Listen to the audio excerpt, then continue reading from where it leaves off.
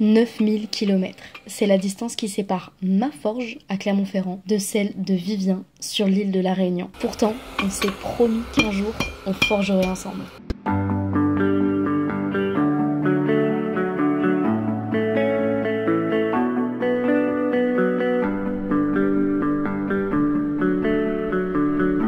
Bon, la première étape, ça va être de trouver des vêtements longs pour aller au vieux domaine, puisqu'apparemment c'est une espèce de forêt qui va être blindée de moustiques et à tous les coups je vais me faire défoncer. Ça, c'est censé être mon kit de survie pour la journée. J'hésite à le boire au goulot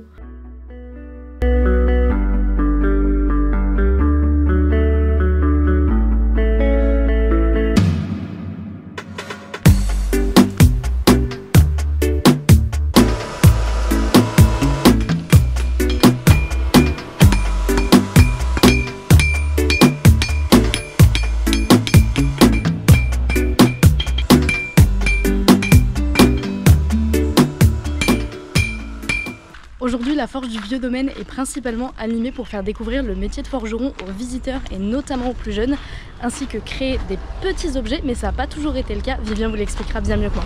C'est un village des engagés, comme vous avez pu le voir, qui travaillaient où? Qui travaillaient dans les champs. Au sein de ce village, il y avait différents métiers, dont celui du forgeron, qui était un métier vraiment central par rapport à l'exploitation. Les outils, ils ne les fabriquaient pas, ils les réparaient. On est dans l'ère pré-industrielle, fin 19e, début 20e. Il y a déjà des entreprises qui fabriquent à grande échelle, grande échelle à l'époque, hein, bien sûr. Donc à l'époque déjà, il n'était plus intéressant pour un forgeron de fabriquer les outils, il était toujours intéressant de les réparer. Les chevaux à la Réunion coûtaient très très cher. C'était un peu la Ferrari de l'époque, parce qu'on les faisait vivre, on les venir en métropole, et euh, sur le trajet, beaucoup beaucoup mouraient. Donc on n'utilisait pas vraiment les chevaux, notamment pour travailler dans les champs. C'était des bœufs qu'on faisait. Euh, c'est une espèce qu'on a un peu créée à la Réunion. On a, on a croisé une espèce qui provenait probablement d'Inde et une de Madagascar. On a croisé ici pour venir travailler ici. Et c'est ce qu'on appelle le bœuf moka. Pourquoi est-ce qu'on a fait venir les bœufs à la Réunion? On travaille dans les champs de café. Comment s'appelle le café à la Réunion? Le moka. Donc bœuf moka, tout simplement. Alors oui, l'activité principale du forgeron au sein du domaine, c'était de fabriquer des fers pour les bœufs. Mais comme nous, on n'est pas des bœufs, mais plutôt des bons vivants, bien que ce soit pas tout à fait incompatible, Vivien me propose de montrer comment il forge un tire-bouchon. Donc c'est une grande première pour moi et j'ai hâte de le voir à l'œuvre.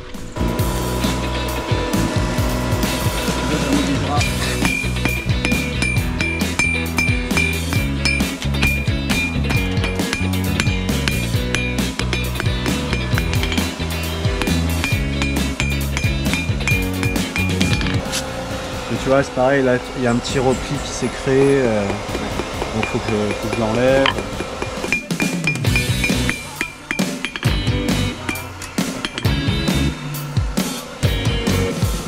On va faire un beau plat, tu vois, à peu près euh, 3 mm d'épaisseur Ouais.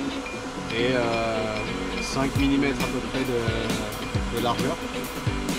C'est comme ça dans mon manche, je perce à 3 Ouais.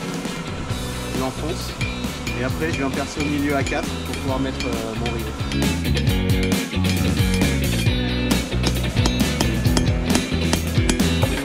Bon, D'habitude ça reste. On est sur un projectile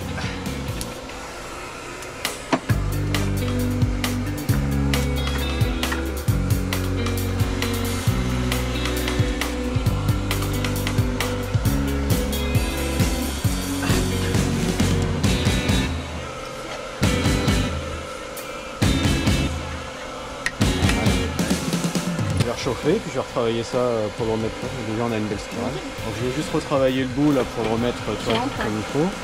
Euh, remettre ça droit et après le remettre dans l'axe ici.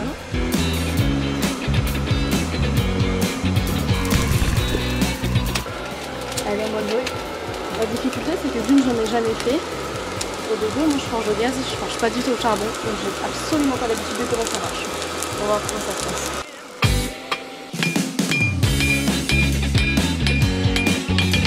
N'a pas pris de petits pansements pour tes petits bobos.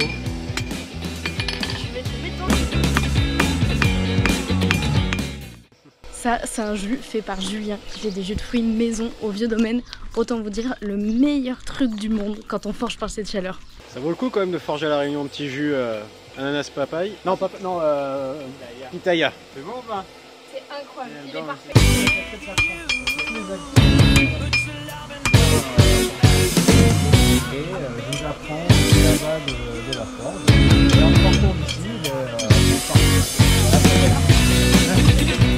les aléas de la technique étant ce qu'elles sont, j'ai pas pu filmer la fin de la session de forge. Et les aléas des compagnies aériennes étant ce qu'elles sont, je ne pourrai pas ramener le tire-bouchon à la maison pour le terminer.